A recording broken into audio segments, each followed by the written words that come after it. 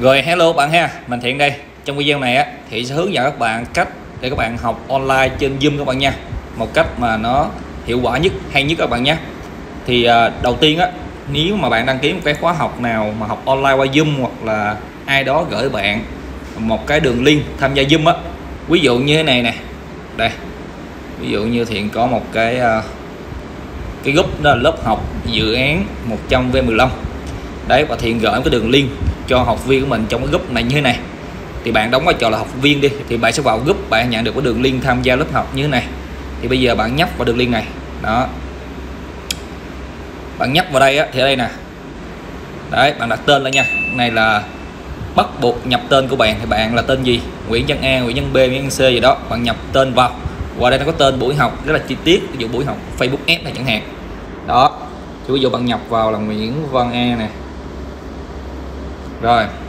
Khi nhập tên xong bấm tham gia.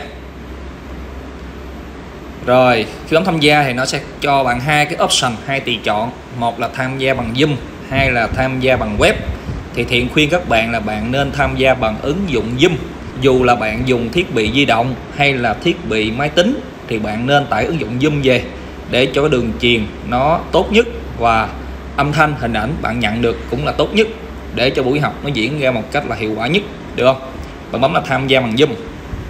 Rồi ở đây, nếu như bạn chưa có cài đặt ứng dụng Zoom, thì bạn sẽ bấm là, và có dòng chữ đỏ đỏ đó, click vào đây để tải Zoom. Còn nếu như bạn đã có tải ứng dụng Zoom rồi, thì bạn bấm là tôi hiểu mở ứng dụng Zoom lên. Trong trường hợp thiện ví dụ các bạn chưa có này, bấm vào click vào đây để tải Zoom này.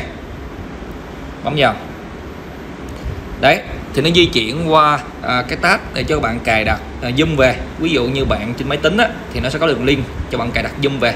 Còn ở trên à, điện thoại thì bạn chỉ cần bấm chữ cài đặt thôi. Ở đây thì cài đặt rồi nên nó có chữ mở như thế này. Đấy thì à, trong trường hợp này bạn bấm mở lên này đó mở lên á, thì bây giờ bạn bấm tham gia cuộc họp thì nó yêu cầu bạn ID cuộc họp nè. Thấy không?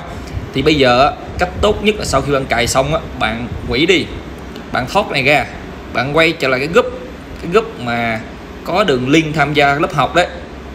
Một bấm vào đây. Đó, cái group hay là ai đó gửi bằng đường link này bấm vào lần nữa, bấm tham gia lại.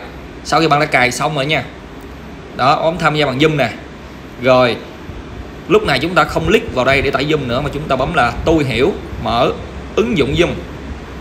Đó, ngay lập tức nó truy cập bên trong thôi. Rồi, thì ở đây á để các bạn à, nghe được âm thanh mà cái người giảng viên đó họ nói á, thì bạn chọn tùy chọn là wifi hoặc dữ liệu di động. Còn nếu như bạn chọn, tùy chọn là không có âm thanh á, thì bạn không nghe được bất cứ những cái gì mà giảng viên hay là chủ phòng bên kia người ta nói đó các bạn nha. Cho nên các bạn hãy chọn là wifi hoặc dữ liệu di động, bạn nhấp vào nha. Rồi nó hiện lên cái à, thông báo đã hiểu hay là gần của cuộc họp thì bạn chọn đã hiểu nha.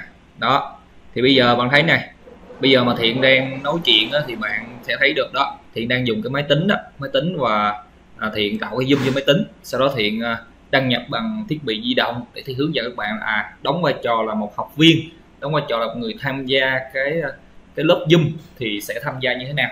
Đó như bạn thấy rõ ràng không?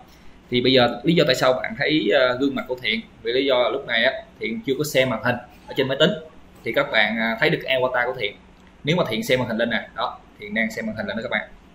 Đấy thì các bạn sẽ không những nghe được âm thanh. Nghe được âm thanh thì nói mà các bạn còn thấy được các thao tác mà thiện à, đang làm đang thực hiện uh, trên cái màn hình máy tính của mình. Thì bằng cách này các bạn sẽ uh, xem vào đó các bạn sẽ học rất là hiệu quả thôi. Thiện làm cái gì thì sẽ nói cái đó hoặc là cái giảng viên họ làm cái gì họ sẽ nói cái đó. Và các bạn sẽ hoàn toàn hiểu được hết tất cả những cái thông điệp mà cái người giảng viên đó họ muốn truyền tải đến các bạn nha đó là cái cách học qua zoom là như thế. Rồi bây giờ thiện sẽ tạm thời tắt cái zoom đi các nha. Nó đỡ đỡ cái gọi là cái cái giọng giọng âm thanh các bạn nha. Đấy. cuộc họp đã kết thúc rồi các bạn. Thì một chút chia sẻ như thế này thì hy vọng là giúp ích được cho các bạn rất là nhiều nha. Tại vì thiện thấy cũng có rất là nhiều anh chị luôn cũng không biết cách uh, vào lớp học zoom như thế nào. Đó.